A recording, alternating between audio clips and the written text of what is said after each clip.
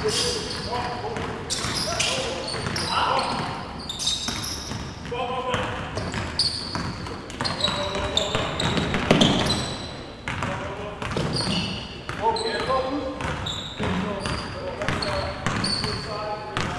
my name is Zubair my nickname is Z, and I'm first year here on the Ryerson men's basketball team.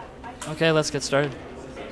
Well, my favorite team in the NBA right now is the Houston Rockets. Uh, my favorite player is Chris Paul. Um, I try to model my game after him, stuff like that. Uh, my favorite show on TV right now is probably Power. I started watching it a couple days ago, and it's really interesting. Uh, I gotta get started to watch Game of Thrones. What, what's your game? Tell us about your game.